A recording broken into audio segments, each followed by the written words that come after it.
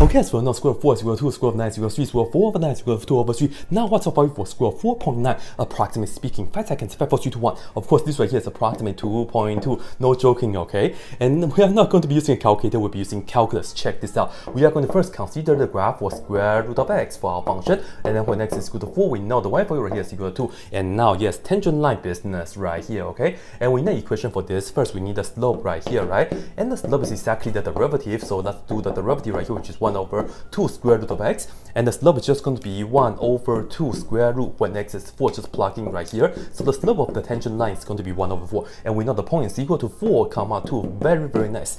Now when x is around 4 we can do the following. We can say the function right here which is square root of x this right here is going to be approximately the following. You do this y value right here which is 2 and then you are going to add in with the slope which is 1 over 4 times x minus the x value right here which is this right here. Very very nice. So simplify this a little bit. You can see that square root of x is approximately, this right here is 1 over 4x, and then this is minus 1 plus 2, which is going to be plus 1. Very nice, right? So now we are just going to be plugging what? 4.9 right here. Go ahead and do that. So you see square root of 4.9 is going to be approximately 1 over 4 times 4.9, and then you add 1 to it. Work that out on your own. You will see that this right here is equal to 2.225. Therefore, I can show you that square root of 4.9 is approximately 2.2. Told you, no joking. And that's it.